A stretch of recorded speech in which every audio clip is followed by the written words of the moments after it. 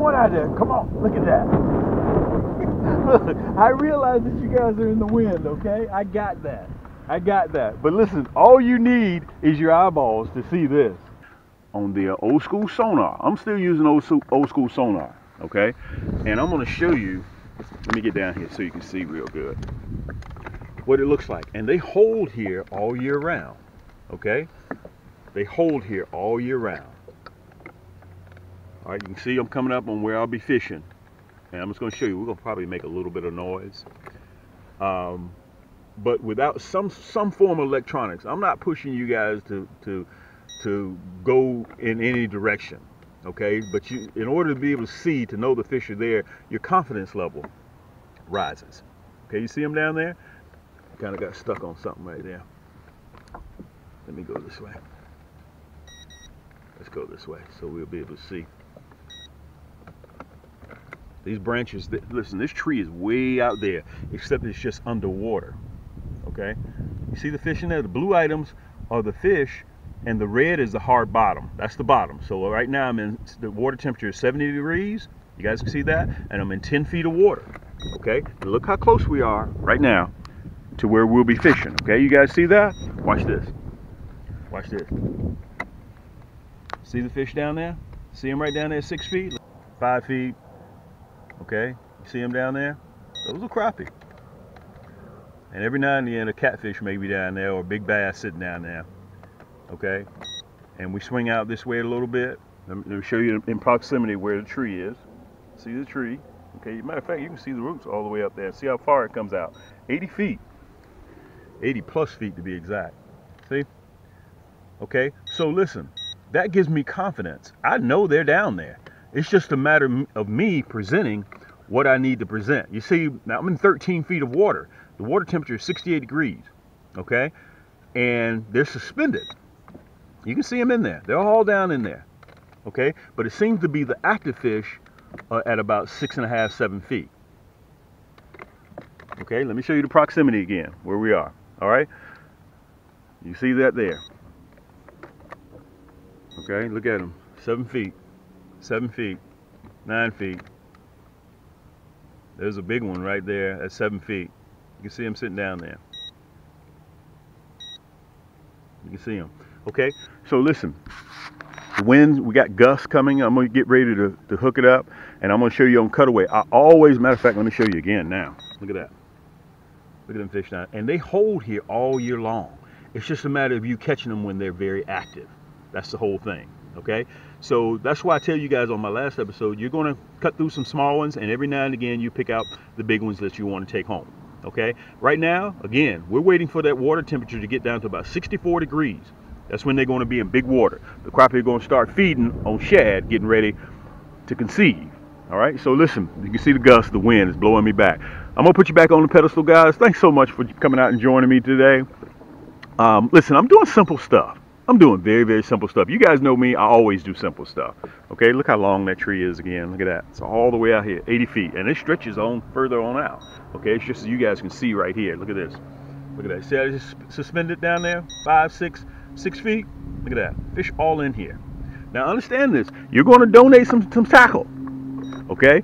What is that old saying? If you're not getting hung up, you're not crappie fishing. That's part of it. Let me put you guys back on the pedestal. I'm gonna show you my specs, what I'm using. Let me tell you what's on fire right now. I'm gonna tell you what's on fire. That monkey milk with that hot pink jig head. And this is what I'm gonna try today. I'm gonna try the hot pink jig head and I'm gonna try the chartreuse jig head. Let's see which one does better, all right? Get yourself something to drink, guys. And listen, don't forget about our community on Facebook, Cam's Crappie Hole Community. It's free to join. Just click the button and, and, and, and subscribe. Okay? That's it. That's all you got to do. Come on in. I'm looking for some moderators to help keep the community clean. And uh, it's free. I want you guys, listen, we're approaching 16,000 members. All right, so I created that just for you a couple of years ago, and I want you guys to come be a part of everything of what I do. Okay, listen, no profanity as usual, no adult situation, uh, none of that stuff. Okay, just good, clean, old-fashioned fishing. Hold on, let me get myself together, and we're gonna do some fishing. All right, yank. Remember, Crappie can't see it.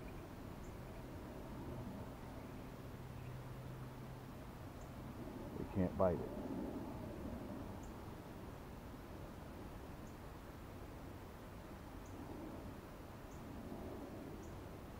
And we're going to try different angles, okay? Look at that. Just like that. Yank!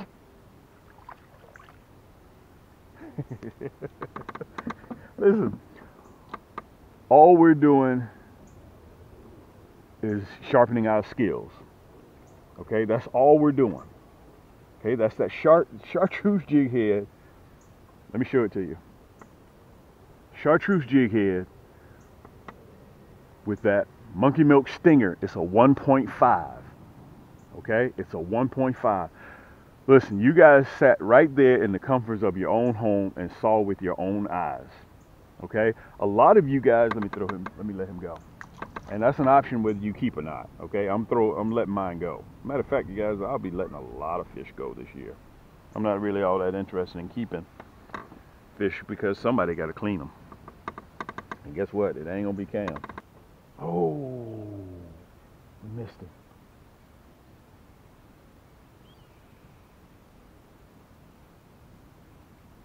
Yank! Look at that. On the way down.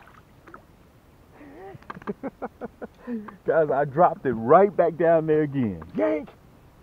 Right back down there again.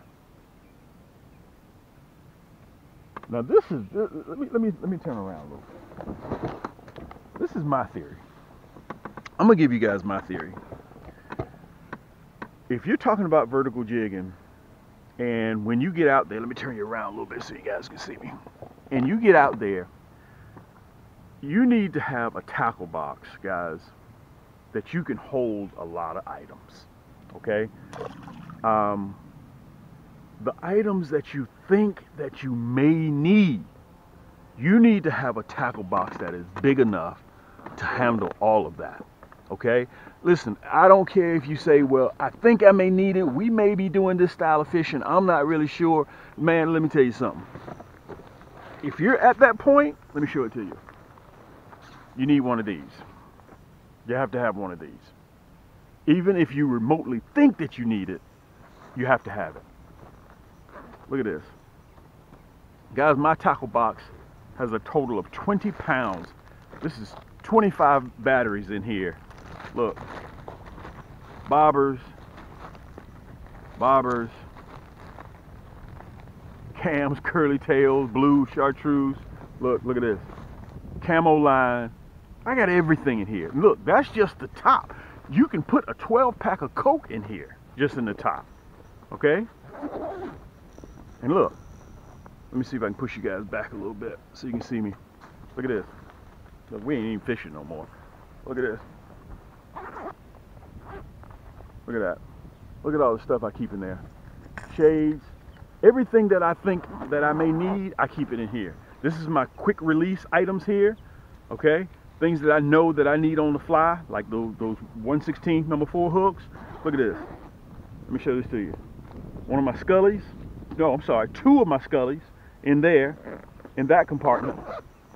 Look, backpack, the straps, breathable, cushion, and look on the front. Wait a minute, I'm not even finished. Look, look at two pair needle nose pliers. All this is cam, and I ain't even got to the good part yet. Look at this. Anything that you think you may need, you better carry it. Look at that. Hope you guys can see that. Four compartments. I manufacture items, and two of the compartments I ain't even opened up yet. They still look brand new in shrink wrap plastic. Okay? Guys, all you gotta do go to camscrappiehole.com and you can pick it up. And listen, it also comes with a nine foot, 10 foot. You can get it as a, as a kit all together. Okay, so that's up to you. So anything that you think you may need, you need to take it with you when you go fishing. Plus there are cleats on the bottom, so that assures that it stands upright no matter how much stuff that you keep in there. Look, let me show you this. Look, um, on those side pockets right there, look, I even keep my, my, my lip balm. My lip. Mm. In case you get on the water, lips get chapped. I'm just telling you guys, I don't go, when you guys purchase from me, I don't, let me pull my shirt down. I don't turn around and buy a $30,000, $40,000, $50,000 boat. My money goes back into research and development because I'm a crappie fisherman. We, some of the rods has taken us over a year to build. Through trial and error, we get them, no, don't like it, trash it. Get another one, break it because it's not strong enough. Get another one, don't like the color scheme. It takes time to do all that. It takes time. Okay, this my 10 foot rod and reels, they were 11 months in designing. 11 months. We had the foregrip here, it's too short. One time we had it too long. Guys, the back, it wasn't balanced. Uh, when we put the reel on, wrong reel, we had to create that as well. The color, the paint job. Um, guys, all that stuff takes time. What I do is I put that money back into D&D due diligence and it benefits you guys. I'm not a selfish cat that goes out and buy me a $4,000 um, live something. I'm not going to give the name, the credence to it, but you guys know what I'm talking about. Okay? Um, making, you know, $400 payments, $500, $600 payments on a boat. I don't do all that. You guys have seen me fish with the same little boat, same rod and reels that I designed, same tackle box, same hoodie, same shade, all this stuff you can find on camscrappiehole.com. But listen, I'm going to give you more of my specs when I do a cutaway. Let's see if we can catch some more fish. The reason why, because the wind has died down. Now I really need the 132nd, but I don't feel like cutting and retying right now. So I got one pole laid down, and I got the other one in my hand. One I'm running the hot pink, the one that's laying down, and the other one is chartreuse. Let's see if we can, which one we have better luck with, the chartreuse or the hot pink.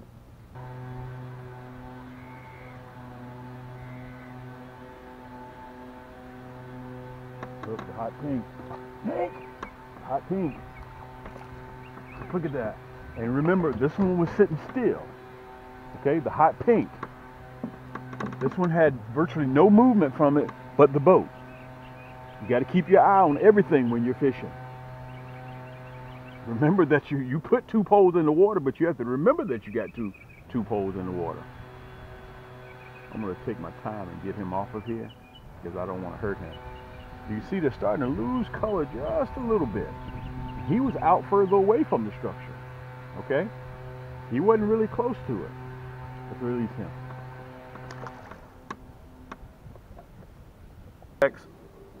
On what I'm fishing. Uh, be prepared sometimes when you're vertical jigging or, you, you, know, we're in between that funny season right now. Uh, you may get in there, catch six, seven, eight fish, and crappie will cut off. They're just funny like that, okay? So just kind of be prepared for that. Um, I want to do this quick cutaway so you guys can see and not wonder exactly. If you guys haven't figured it out by now how I how I do business, it's very simple. I give you my intel right up front because technically I work for you guys. Okay, we're not sponsored. As you guys heard me say on one of my videos by some huge conglomerate company. You can't, you know, we're not dealing with the big box stores. I'm a crappie fisherman. I manufacture my own products I take those products, what I know is good, because over the years of me catching crappie, and I bring them directly in your living room. That's all I do. I don't do anything other than that, okay? Um, so I know they work, okay? Every product that you purchase, every rod and reel that you purchase from me come, comes with a one-time accidental replacement, no matter which rod and reel that you, that you get for life.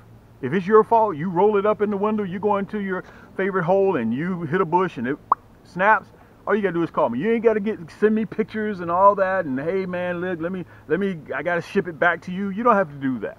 Okay? You don't have to do that because everybody that get their items from me, they're satisfied. Okay? Um, you don't have to let me send you the ride back and you know we have to go through returns and all that, the front office. Um, you know, that's just the way we roll, okay? Because I know that accidents happen. They happen, okay? So listen, I wanted to get that out of the way real quick. Don't forget about what I mentioned to you guys. I want you to take advantage of Afterpay or Shop Pay, depending on which store that you're in. Okay?